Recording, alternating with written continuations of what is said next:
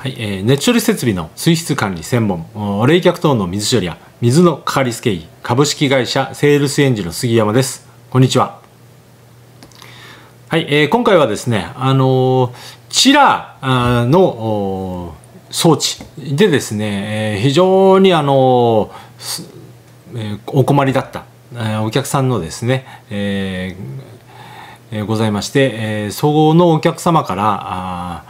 まああの私たちが改善したですね、えーえー、ご感想といいますかあまあコメントをですねちょっといただきましたんで、えー、ちょっとご紹介したいと思います、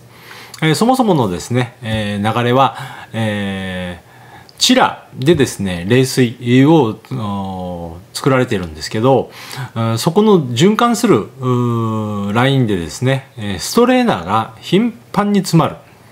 でストレーナーが詰ま詰まるとですね、えチラーの中に水が流れなくなって、えー、高圧カットがですね起こって、え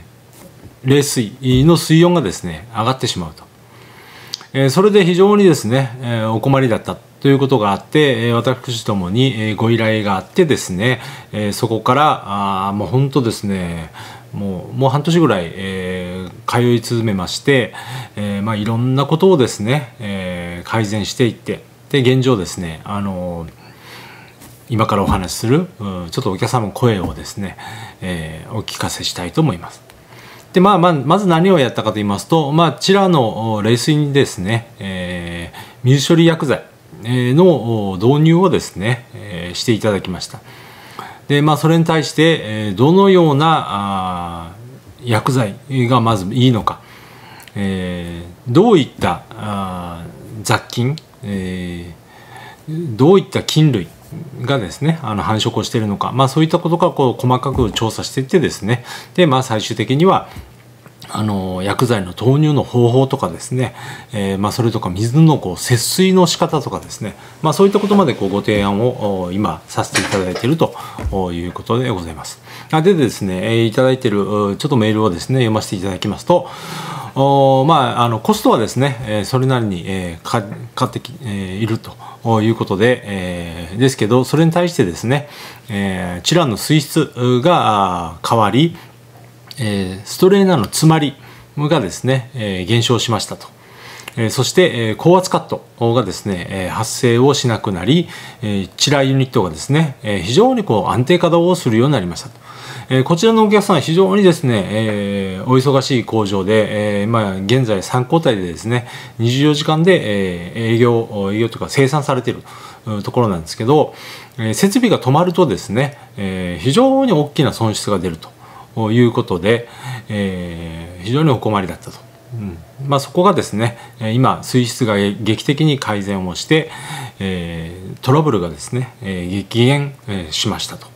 いうことだったんですね。まあ、こういった言葉をいただくとですね、非常にこう私たちも仕事をやっててですね、えー、嬉しく思います。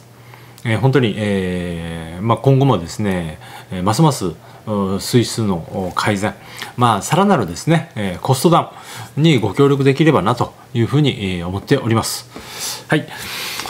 はい、えー、当社ではですね、えー、そうしたあ冷冷却水のトラブルに関してですね、えー、こういったペットボトル、もう市販のですね、えー、飲料水で使われているペットボトルに、えー、お水を入れていただいてですね、当社の方にお送りいただきますと、今、あの冷却水のですね、無料診断サービスというのを行っております。えー、そこいただいたこのお水をですね分析しまして、えー、その水の成分からですねどのようなトラブルをお客様が抱えられているのか、まあ、それについてじゃあどういうふうに改善すればいいのかとかですね、え、そういったご提案を今やっておりますんで、えー、ぜひ、ご活用いただければなというふうに思います。はい、えー、熱処理設備のトラブル激減、えー、10年経っても安定稼働、熱処理設備の冷却水の最近冷えがむっちゃくちゃ悪いなとかですね、えー、冷却水の流れがスケールで詰まって、え、流れんようになったとかですね、えー、そういったトラブルでお困りでしたら、セールスエンジと検索をいただけますと、弊社の詳しい情報をご覧いただけます。どうぞよろしくお願いいたします。